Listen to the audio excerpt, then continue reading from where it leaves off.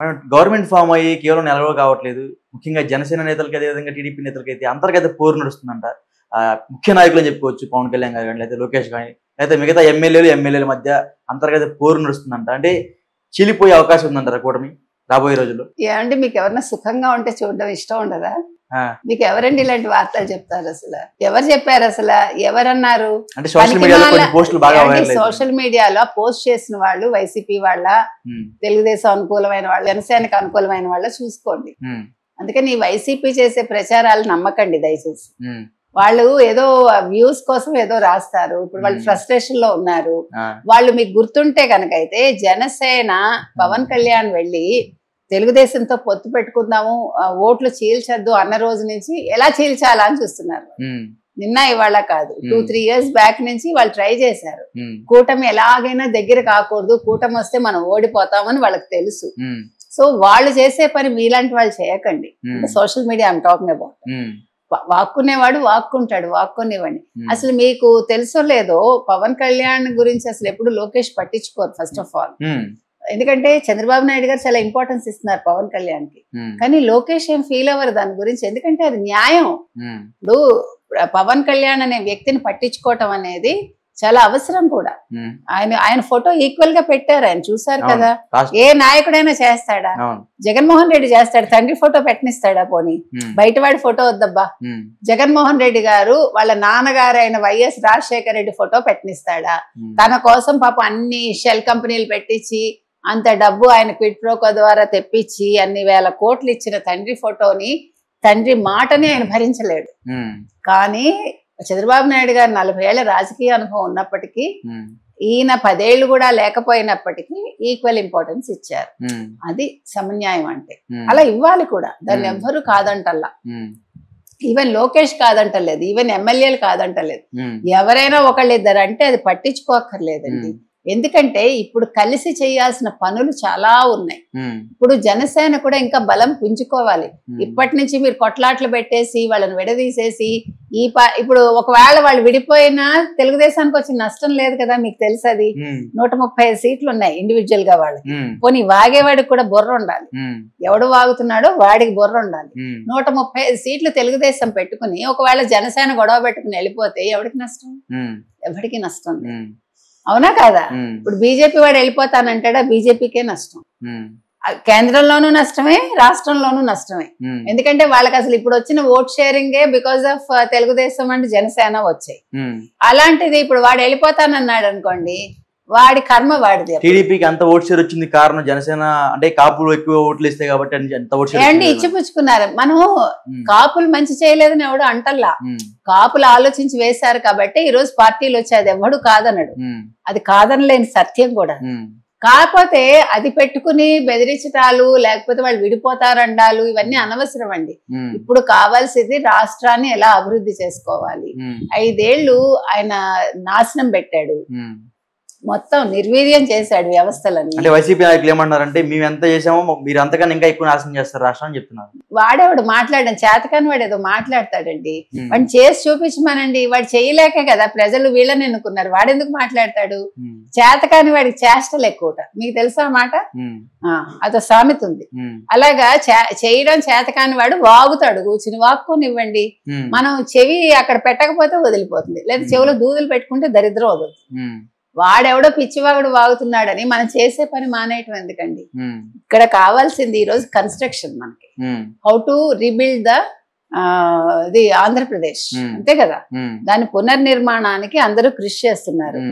పవన్ కళ్యాణ్ తన వంతు తను చేస్తున్నాడు. ఆయన ఆయన శాఖలో ఉండేదాన్ని మొత్తం ఆ దరిద్రాన్ని ఎలా వదిలించాలి? ఇంతవరకు జరిగిన ఆ చెదలంతా ఎలాగ వాటిని సర్వనాశనం చేయాలి సమూలంగా నాశనం చేయాలని ఆయన చూస్తున్నాడు ఆ వైసీపీ చెదలు. కాబట్టి ఎవడి పని వాడిని చేసుకొనివ్వండి అబ్బా.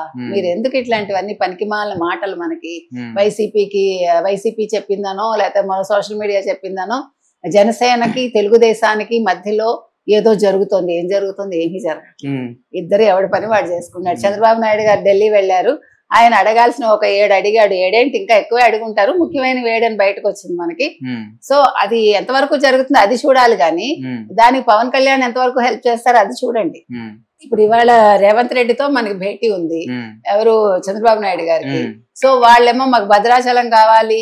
లేకపోతే మాకేమో భద్రాచలంలో ఐదు మండలాలు లేకపోతే మాకు తిరుపతిలో షేర్ కావాలి మళ్ళా మాకు పోర్టులో ఇది కావాలి అర్థం ఉందా? ముందు విడదీసినవన్నీ కూడా మీరు అప్పచెప్పండి మీకు కావాల్సిన మీకు రావాల్సినవి మీరు తీసుకోండి. తర్వాత కొత్త డిమాండ్లు పెట్టండి. ముందు పాత వాటికి దిక్కులేదు. ఏదో కొత్తవి చెప్తారు. సామెత కూడా ఉంది. మనకి అలా చెప్పుకుంటే. అందుకని మాట్లాడేవాడు కూడా ఇప్పుడు ఏదో అవకాశం వచ్చింది కదా అని నేను డిమాండ్లు పెట్టేస్తానంటే కుదరదు. వాళ్ళు మనకి విద్యుత్ బకాయిలు చాలా ఇవ్వాలి వాళ్ళు. అవన్నీ వాళ్ళు ఒప్పుకోవట్లా. ఉమ్, ఇప్పుడు మొత్తం ఎన్ని ఎనభై నాలుగు ఎనభై ఆరు ఎన్నో డిమాండ్స్ ఉంటే ఇప్పుడు వాళ్ళు అరవై ఎనిమిదికి ఏదో ఒప్పుకున్నారు ఎవరు కాంగ్రెస్ వాళ్ళు. అంటే. డబ్బులు వచ్చే ఒప్పుకోవట్లే. ఇప్పుడు ఆర్టీసీ వాటికి సంబంధించి ఇంకా చాలా ఉన్నాయి. అంటే మనకి రావాల్సిన బకాయిల మీద వాళ్ళు ఒప్పుకోవట్లా. మనం వచ్చి తిరుపతిలో ఇచ్చేస్తామా వాళ్ళకి షేరు? అసలు అడగటానికి కూడా అర్థం ఉండాలండి. చెప్పేవాడికి చెవుడైతే వినేవాడికి వివేకం ఉండాలి. ఇవన్నీ వివేకం లేని మాటలు. అంటే ఇంకోటి మేడం నాయకుల్ని పక్కన పెడితే గ్రామ స్థాయి మండల స్థాయి నాయకులు కూడా. అంటే జనసేన నాయకుల్ని కొంచెం తక్కువగా చూడటం వల్ల ఇట్లా వర్గపూర్ అనేది ఎక్కువ అవుతుందంట. సో దాని గురించి మీరు ఏం చెప్తారు? ఏమంటే అది వాళ్ళు వాళ్ళు సెటిల్ చేసుకోవాలండి. నన్ను తక్కువ చూస్తున్నారు ఎక్కువ చూస్తున్నారు. అసలు ఎందుకు మనకు భావన ఎందుకు? నీ పని నువ్వు చేసుకుంటే వెళ్ళి వాళ్ళతో నీకెందుకు? అసలు why you are comparing with them ఇప్పుడు నా పని నేను సజావుగా చేసుకుంటున్నాను అనుకోండి ఇప్పుడు చాలా మంది జర్నలిస్టులు ఉంటారు చాలా మంది అనలిస్టులు ఉంటారు. ఎవరి ఇది వాళ్ళది. వాడెవడో నన్ను తక్కువ చేశాడు అనుకుని నేను బాధపడటం నేను సబ్జెక్ట్ సరిగా పెట్టుకుంటే వాడి వాడి గురించి నేను ఆలోచించేంత టైం నాకు ఉండదు.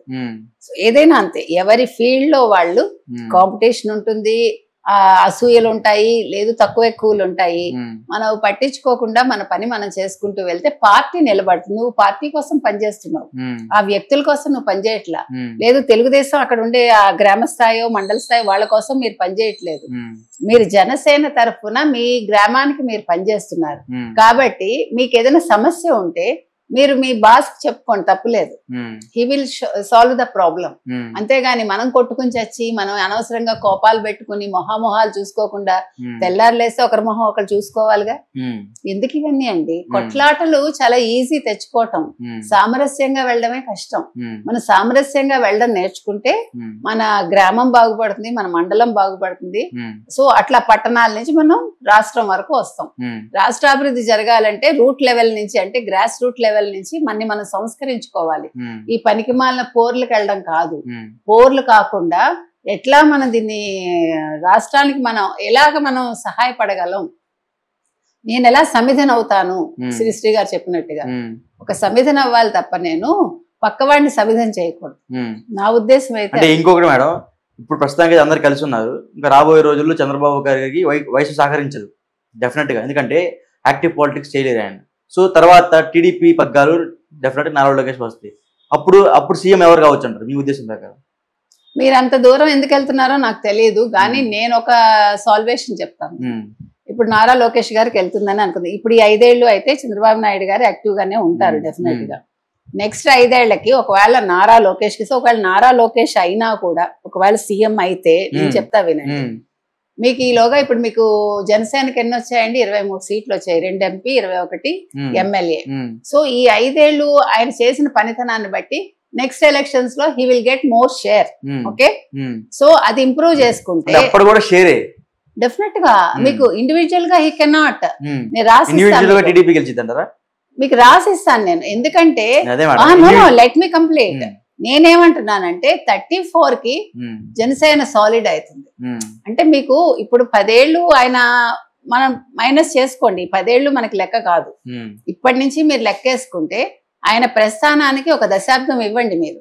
లెట్ హిమ్ ప్రూవ్ అంటే ఆయన ఆయన ఆయన పార్టీని ఆయన ఇంకా బలోపేతం చేసుకోవాలి. ఇప్పుడు ఇరవై ఒక్క సీట్లు వచ్చేస్తే కరెక్ట్ హండ్రెడ్ పర్సెంట్ వచ్చింది. We are not saying no but ఇది సరిపోదు. ఉమ్, కాబట్టి ఇప్పుడు లోకేష్ వచ్చేస్తాడా? మనకి ఎందుకు ఆలోచనలు అండి పనికిమాలిన ఆలోచనలు అంటాను నేను. ఉమ్. లోకేష్ వస్తే ఏమైంది? మరో ఇంకొకళ్ళు వస్తే మనకి ఏమైంది? దూరదృష్టితో ఈ మధ్య ఆలోచిస్తున్నారు. ఇది గురించి. దూరదృష్టి ఆ? దురదృష్టి అంటారు. అంటే చెడ్డ దృష్టి ఇది. అంటే మనం ప్రతిదీ పాడు చేసుకోవడానికి ఆలోచిస్తున్నాం. ఎందుకండి? ఎప్పుడో ఐదేళ్ళ తర్వాత మనకి ఎందుకు ఇప్పుడు రేపు సంగతి చూద్దాం. ముందు రాష్ట్రం ఎలా అభివృద్ధి చెందాలి? మనకు వచ్చే వస్తున్నాయా లేదా? కేంద్రం ఇస్తుందా లేదా? కనీసం నేను ఒక వ్యక్తిగా నేను నా కనీసం నా పక్కవాడికి నేను సవ్యంగా ఉన్నానా లేదా అది ఆలోచించుకుంటే చాలుగా? తెల్లారి లేచి నా పక్కవాడితోటి నేను దెబ్బలాడకుండా ఉన్నానా? నా పక్కవాడికి నేను సహకరిస్తున్నానా? ఎవరైనా ఒక్క వ్యక్తికి నేను సహాయపడగలుగుతున్నానా? రోజంతా మీరు ప్రతిరోజు చేయొద్దు. నెలలో ఒక్కళ్ళకి మనం సహాయం చేస్తున్నామో ఆలోచించుకుంటే ఈ పనికి మాలిన ఆలోచనలు ఉండవు మనకి. ఇప్పుడు ఇది మంచిదే చెడ్డదా నేను ఇప్పుడేం వాదించట్లేదండి. కానీ Pawan Kalyan will have his share డెఫినెట్గా ఒక రోజు ఆయనకు వస్తుంది. Every man has his own day అని ఒక రోజు పవన్ కళ్యాణ్ గారి డే కూడా డెఫినెట్గా వస్తుంది. కానీ మనం దానికోసం తొందరపడిపోయి ఎందుకు రాలేదు ఎందుకు రాలేదు అవసరం లేదండి. ఇప్పుడు చంద్రబాబు నాయుడు గారు he is really good compare to చాలా యంగ్స్టర్స్ గంట ఈయన చాలా యాక్టివ్గా పనిచేస్తున్నారు. Um, so let us hope ఆయనకి మంచి ఆరోగ్యం దేవుడు ఇవ్వాలని అందరూ కోరుకోవాలి. ఎందుకంటే రాష్ట్రం అభివృద్ధి చెందడం కోసం మీకు నాకు వచ్చేదేం లేదు. ఉమ్, ఇప్పుడు మనకేమి మీరేమైనా ఐటీ ఉద్యోగం చేస్తున్నారా నేను ఐటీ ఉద్యోగం చేస్తున్నానా లేకపోతే మీరు ప్రభుత్వ ఉద్యోగా నేను ప్రభుత్వ ఉద్యోగా? ఏది కాదు కదా. కాకపోతే ఏంటంటే మన రాష్ట్రం మన ప్రాంతం అనే అభిమానం మనకంతే. మన ప్రాంతీయ అభిమానం మన రాష్ట్రాభిమానం మన తెలుగు వాళ్ళం మన ఆంధ్ర వాళ్ళం అనే ఒక మాటతోటి మనం మాట్లాడుతున్నాం తప్ప ఇంకా ఏమీ లేదు మనకి. అందుకని అందరం కూడా కలిసికట్టుగా మనం రాష్ట్రం బాగోవాలనుకుందామండి. డెఫినెట్గా పవన్ కళ్యాణ్ గారి టైం వస్తుంది. ఎవడు కాదన్నాడు? ఉమ్, లోకేష్ అయితే మీకేంటి? మరొకడైతే మీకేంటి? ఉమ్, ఆయన టైం ఎప్పుడు వస్తుంది సాలిడ్గా ఆయన ఎప్పుడు చీఫ్ మినిస్టర్ అవుతారన్న దాని మీద మీరందరూ బాటలు వేయండి అంతే.